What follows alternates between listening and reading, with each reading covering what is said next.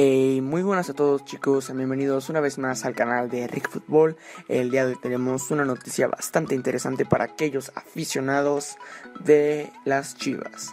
Y es que bien, Orbelín Pineda es el nuevo jugador de Cruz Azul. Y eso es lo que ha dicho Orbelín Pineda de llegar al club cementero. Y es que bien, ha dicho que la transacción se dio debido a que Cruz Azul presentó una muy buena oferta. Realmente le dice que le emociona el proyecto que tiene Ricardo Peláez con el equipo cementero y que le interesaría ser parte de este nuevo proyecto para la siguiente campaña. Sabe que en Chivas actualmente las cosas no están muy bien y es una de las razones por la cual ha salido Orbelín Pineda del club.